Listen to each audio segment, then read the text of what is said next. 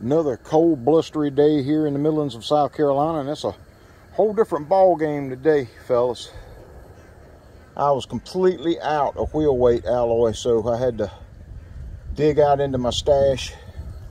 Now that I've got the pure lead taken care of, now I need, this is the stuff you need for your buckshot uh, projectiles right here. You can make this stuff as hard as you want it. Stand by.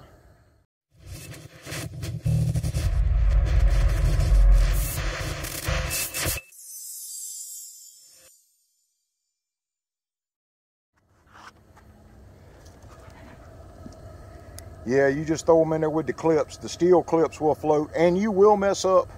If you've got zinc and steel and other stuff mixed in with it, you're gonna mess up and accidentally toss them in there. As long as you don't get your alloy too much up over 800 degrees here, then uh, you're not gonna have you, any other alloys melting into your wheel weight alloy. So that's what the target is. When you're using a flame like a turkey fryer, it's tough to control it sometimes but that's what I got to do what I'm doing outside. So that's how we do it. Look around, it was starting to get a pretty good pool down there at the bottom. You can see it shimmering, that silvery goodness down there. The molten wheel weight alloy. And as it warms up these other wheel weights, it'll all start melting down in there once we get a pretty good pool. Because I already see a piece of zinc that I missed. Y'all see it? I'm gonna go ahead and pull that out of there. It's been about seven, eight minutes later. Now all the clips are floating, the steel clips on there are floating to the top.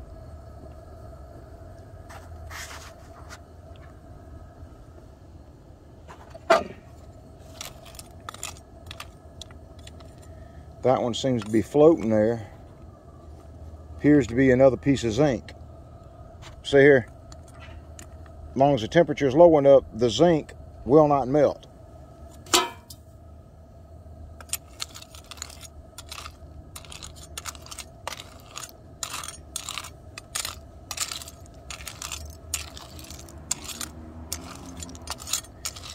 Bunch of slag and bunch of, see here, there's a steel Looks like a piece of steel that I might have missed.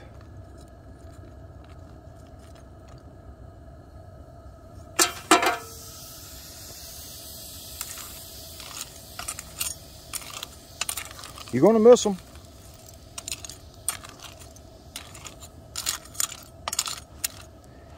All right.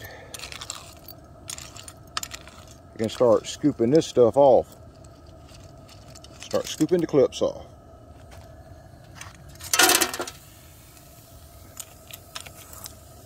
You'll definitely want you a metal receptacle to put these in because they are hot.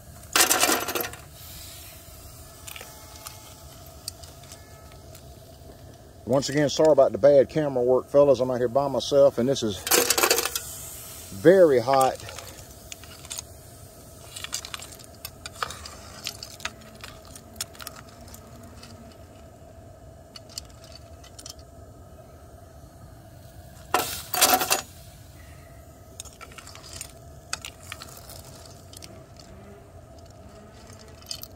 Alrighty, y'all get the idea.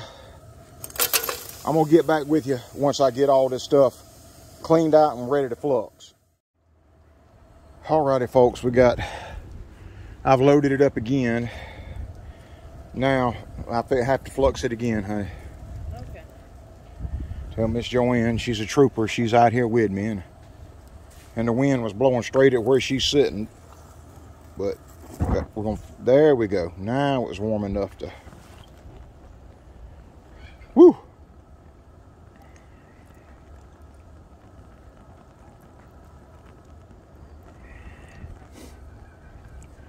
Wind is blowing feed bags and stuff all I mean it is is like it's been gale for the last couple of days blowing stuff everywhere.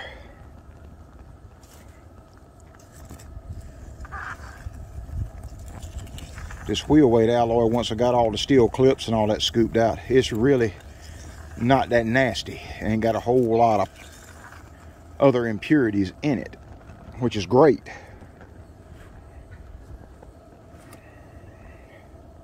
Really look alloy really looks good. Actually, I only had two pieces of zinc in it that I had missed and one piece of one small piece of steel. So did pretty good with that this go around. Don't always happen like that.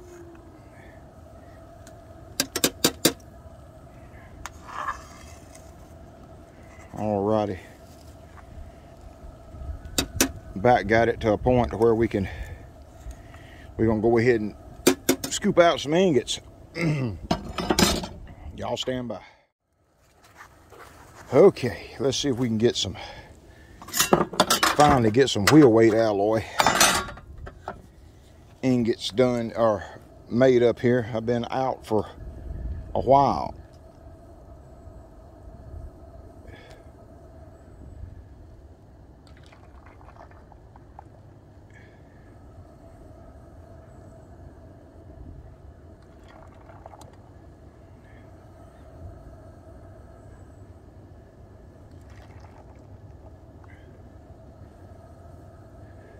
It takes a lot of wheel weights, especially if you've got the, the wheel weights everywhere from a quarter of an ounce to ounce and a half range. Buddy, you got to sort through a bunch of them to get a 50 pound pot of lead done here. And like I said, I like all different sizes. So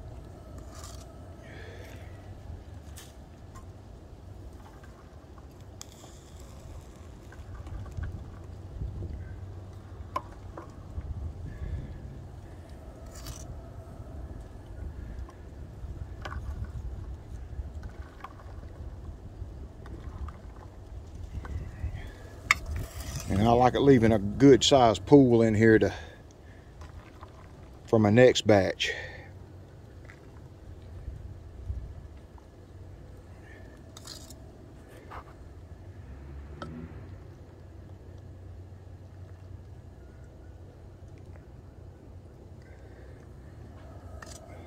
And that's about all we're gonna scoop out this time. And we'll load it back up. And do it again. All right, y'all stand by. Yeah. Ha that one is Hammer, Hammer and the grand boy come by. Jacob is a ball of fire. Hen trying to convince Jacob this is very, very hot stuff.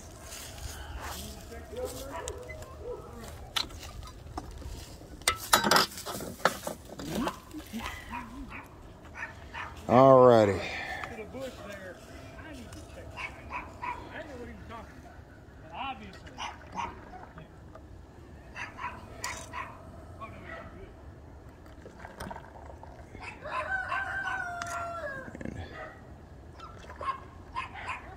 All right, then we'll make a lot more small ones.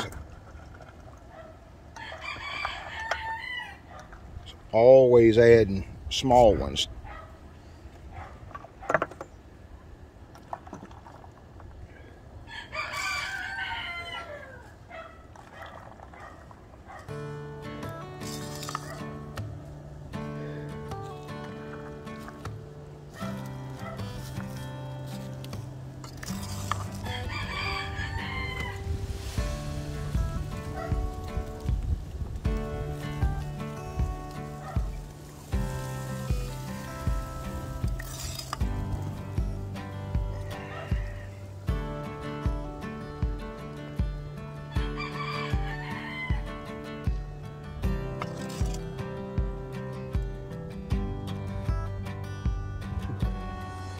We're gonna get it all this time. As it takes a while to uh, go through all those wheel weights. And I need to be able to mold up some buckshot for you guys.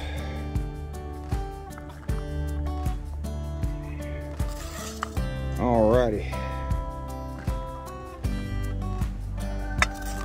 get the pot emptied out.